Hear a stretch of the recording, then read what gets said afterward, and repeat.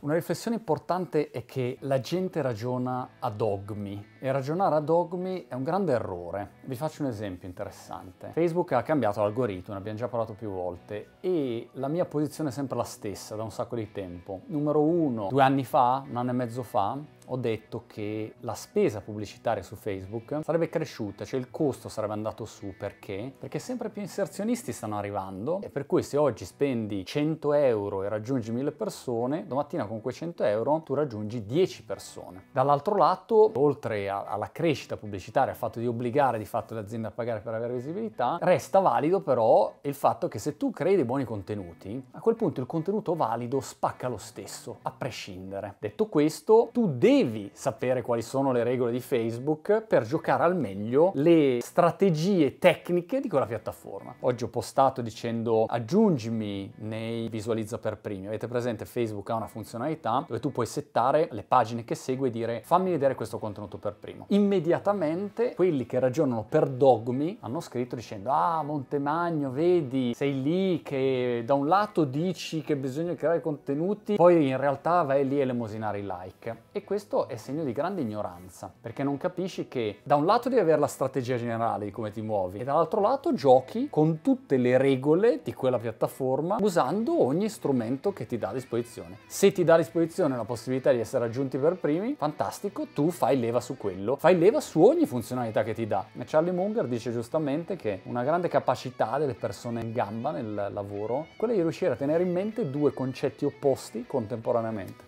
Il bricino del giorno è Egarty on Creativity. Egarty è questo creativo inglese molto famoso, ha fondato questa agenzia, creative partner di Bartle Bogle Hegarty, BBH, ha fatto un sacco di campagne, tipo questa qua, la ricordate? Ne avevo parlato in un libro, era molto carina, pubblicità dei jeans, Black Levis, When the World Zigs, Zag geniale. E dà un po' di considerazioni, poi c'ha tutti i suoi sketchettini fatti a mano, ad esempio questa sulla tecnologia, perché la matita è una grande tecnologia, non c'è bisogno di batteria e mille altre funzionalità.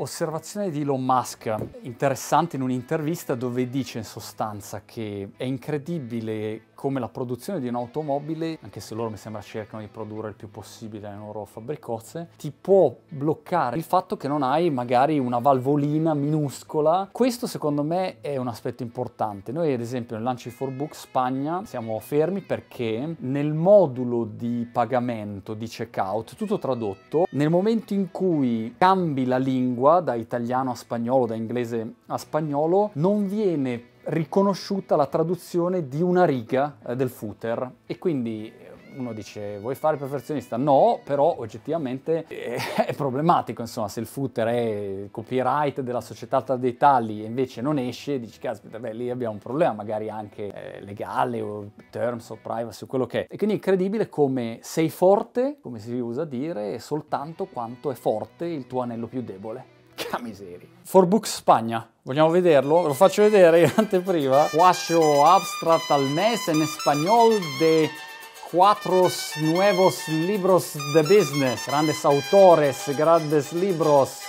Una lezione utile ripassata oggi è stata quella di tenere a mente di non aver paura di rimangiarti la tua parola quando in buona fede stai cercando di trovare la soluzione giusta. Steve Blank, che è un professore, autore del libro Four Steps to Epiphany, se non sbaglio si chiama, giustamente dice che le start-up non hanno un modello di business, sono in cerca di un modello di business. Allora nel caso di Slashers abbiamo preso la decisione stamattina di non fare un'iniziativa che avevamo stabilito seguito e giustamente i miei hanno detto Monti, però poi quale sarà la reazione da parte della community o delle persone esterne? Il problema non è far brutta figura, il problema è quando tu cerchi di lanciare un progetto nuovo, a quel punto continui a cambiare in base a come ti sembra la migliore decisione in quel momento. Magari all'inizio ti sembrava che fosse ottimo lanciare questa roba qua, i pannolini no, oppure pensavi di farle verdi e poi capisci che invece vanno fatte viola o con i pomponi iPhone. C'è un bellissimo video, andatelo a vedere, di Steve Jobs eh, che fa la presentazione della strategia di Apple e ad un certo punto c'è un tizio che lo attacca dal pubblico dicendo ma perché vai a bloccare questo prodotto qua, a dismettere questo prodotto qua che è meraviglioso, che ne sai tu e che hai fatto in sto periodo, no? Era uno Steve Jobs rientrato in Apple. E lui spiega giustamente come tu a volte devi togliere, togliere, togliere, togliere, devi concentrarti sulle cose che funzionano di più.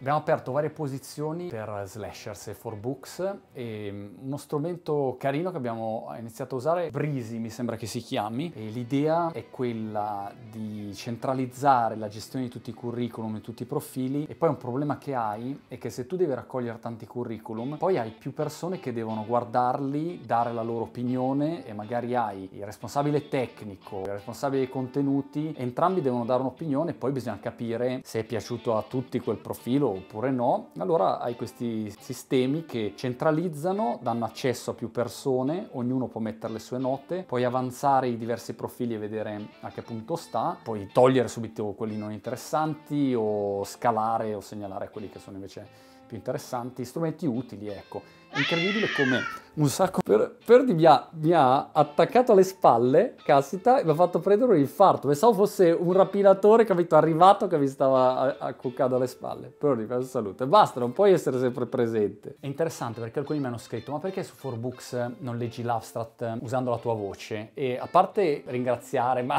immaginate che se li leggo con la mia voce. Però il ragionamento a monte è carino. Uno dice, ma scusa, la tua voce viene identificata oggi, bello brutta che sia, perché non la usi per leggere tu gli abstract di 4Books? E qui secondo me c'è una pecca di ragionamento sul tema della scalabilità di un progetto. Che cosa vuol dire? Che se tu ti metti a fare una serie di attività all'interno di un tuo progetto non vai più a casa perché a quel punto il tempo che tu dovresti dedicare per lavorare sul tuo business lo usi per lavorare nel tuo business. E immaginati se tu a quel punto, come vogliamo fare noi, hai 4Books che sono 60 abstract in Italia, più quelli di ogni paese corrispondente e magari hai migliaia di abstract da fare in un sacco di lingue diverse, come fai a farle? L'obiettivo è sempre quello di ragionare su quali attività possono effettivamente scalare, quali possono andare avanti a prescindere da te. Chiaro, o sei Tom Cruise, allora sei l'attore, allora devi esserci per forza tu, ma tutte le altre attività che non richiedono la tua presenza ad ogni costo, devi cercare di delegarle a qualcuno, se no sei il collo di bottiglia.